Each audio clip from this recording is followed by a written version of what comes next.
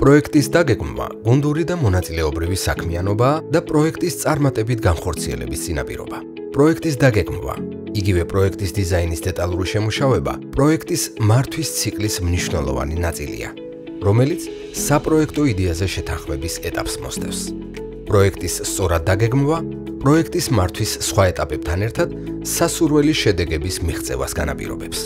პროექტის დაგეგმვის ხანგრძლივობა და კომპლექსურობა დამოკიდებულია პროექტის მასშტაბზე, ორგანიზაციის რესურსებსა და სხვა ფაქტორებზე. თუმცა, არსებობს რამდენიმე საბაზისო საფეხური, რომლებიც აუცილებელია ნებისმიერი მასშტაბის პროექტის დასაგეგმვად. ამ ვიდეოში მოკლედ მიმოვიხილავთ დაგეგმვის საბაზისო კომპონენტებს და ამასთან თითოეულ კომპონენტს დამოუკიდებელი ვიდეო დაეთმობა. პროექტის დაგეგმვის საბაზისო კომპონენტებია: პროექტის ხედვის, მიზნებისა და ამოცანების განსაზღვრა, სამოქმედო გეგმის შედგენა, ბიუჯეტის შემუშავება, მონიტორინგისა და შეფასების გეგმის შედგენა. დაგეგმვის პირველ ეტაპზე საპროექტო იდეის შესაბამისად განვსაზღვრავთ პროექტის ხედვას, მიზანს ან მიზნებს და ამოცანებს. მაგალითად, ჩვენი პროექტის ხედვაა ჭკვიანი კლუბი, ახალი ცოდნის და უნარების შეძენის და თანამშრომლობის სივრცე თემის წევრთა ცხოვრების ხარისხის გაუმჯობესებისთვის. მიზანი ან მიზნები და ამოცანები უნდა შეესაბამებოდეს პროექტის ხედვას. უნდა იყოს კონკრეტული და აკმაყოფილებდეს ეგრეთ წოდებულ SMART კრიტერიუმს. მაგალითად, მიზანი შესაძლოა იყოს სამწლიანი პროექტის განხორციელების ბოლოს თემში 5%-ით გაიზარდოს დასაქმების მაჩვენებელი. ხოლო პროექტის ამოცანა შესაძლოა გულისხმობდეს პროექტის განხორციელების პირველ წელს თემში მცხოვრები 20 ახალგაზრდის დამოუკიდებლად ჩართვას ადგილობრივ და საერთაშორისო დისტანციურ ტრენინგებში. პროექტის დაგეგმვის შემდეგი საფეხურია სამოქმედო გეგმის შედგენა. სამოქმედო გეგმაში განისაზღვრება აქტივობები, რომლებიც საჭიროა პროექტის ამოცანების შესასრულებლად.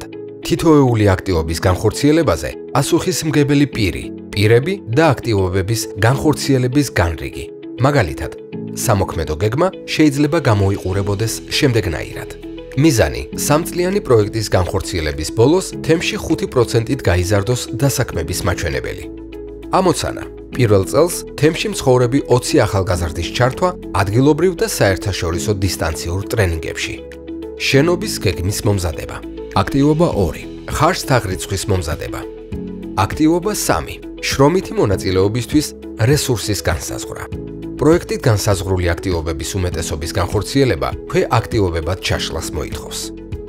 მაგალითად, მესამე აქტივობის შესრულება შრომითი მონაწილეობისთვის რესურსების განსაზღვრა მოითხოვს პროექტისთვის საჭირო უნარების მქონე თემის წევრების გამოვლენას, მათთან გასაუბრებას, მათგან დახმარების მიღებაზე შეთანხმებას, მათი მონაწილეობის დროის და შესასრულებელი სამუშაოს მოცულობის განსაზღვრას.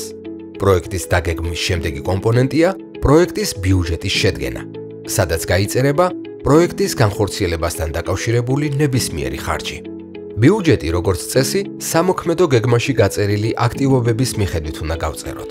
თუმცა, დამატებით ადმინისტრაციული და სხვა ისეთი ხარჯებიც უნდა ავსახოთ, როგორიცაა საკომუნიკაციო და სამგზავრო ხარჯი, კომუნალური გადასახადები, საბანკო მომსახურება და ბოლოს დაგეგმვის ბოლო ეტაპზე ვადგენთ მონიტორინგის და შეფასების გეგმას. ამისათვის თითოეული ამოცანის და მიზნის ფარგლებში მისაღწევის შედეგისთვის შევიმუშავებთ შესაბამის ინდიკატორებს, იგივე წარმატების საზომებს. მონიტორინგის გეგმაში განსაზღვრულ ინდიკატორებს ვზომავთ აქტივობების განხორციელების პარალელურად, ხოლო შეფასების გეგმაში განსაზღვრული ინდიკატორებით ხელმძღვანელობთ პროექტის დასრულების შემდეგ.